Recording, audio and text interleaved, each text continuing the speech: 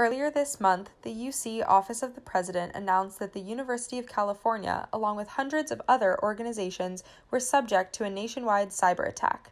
They explain that the hackers may have stolen and published data, potentially including names, phone numbers, birth dates, social security numbers, and bank account information. A number of people were also sent threatening emails with extortion attempts or phishing attacks.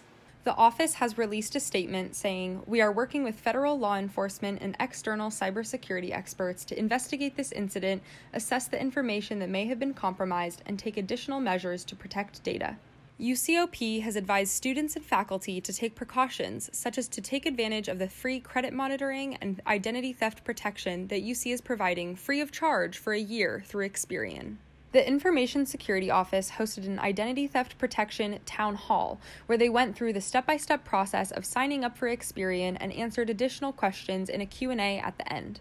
UCOP has also warned people to report suspicious emails and activity to the campus IT staff and to continually check their website for further information and updates.